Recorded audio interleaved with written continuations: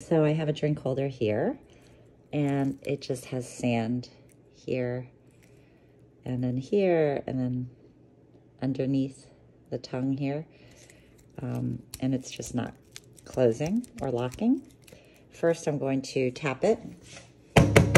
See if I can get some of the sand out just by doing that. A lot is coming out. Already looks a little better. This side does not. There's a lot of sand in there. So it closes, but it doesn't lock. So what I'm going to do is turn this faucet on and let the force of the water kind of hit the sand. And then I'm going to also use the tapping to get the loose sand out. Then another thing I'm doing is